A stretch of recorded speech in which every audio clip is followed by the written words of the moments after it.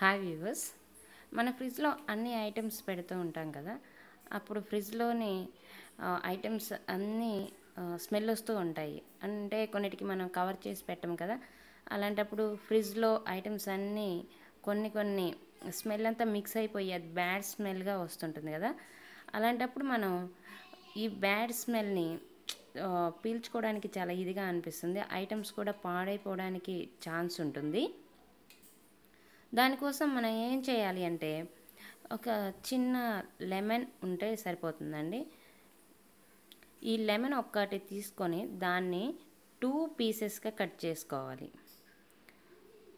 Two పీసెస్గా cut చేసుకొని అందులో ఒక పీస్ తీసేసుకొని ఫ్రిడ్జ్లో ఒక ముక్కను మాత్రం ఫ్రిడ్జ్లో ఓపెన్ ఏరియాలో పెట్టండి. ఇలా ఓపెన్ ఏరియాలో పెట్టి ఫ్రిడ్జ్ని క్లోజ్ చేసి ఉంచండి.